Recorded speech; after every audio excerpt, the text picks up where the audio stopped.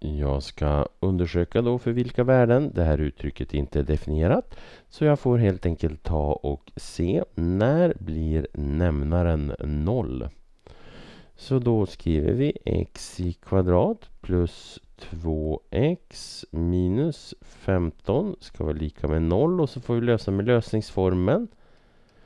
Halva koefficienten med ombytt tecken, det blir minus 1 plus minus 1 i kvadrat plus 15. 1 plus 15 det är 16.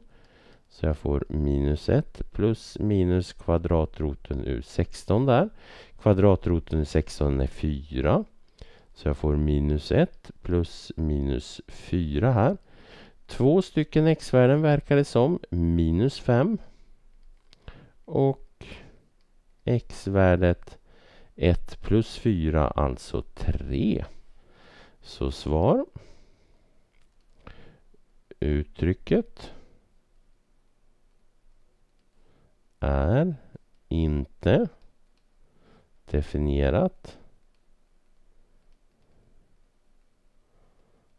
om x är lika med minus 5 och x är lika med 3.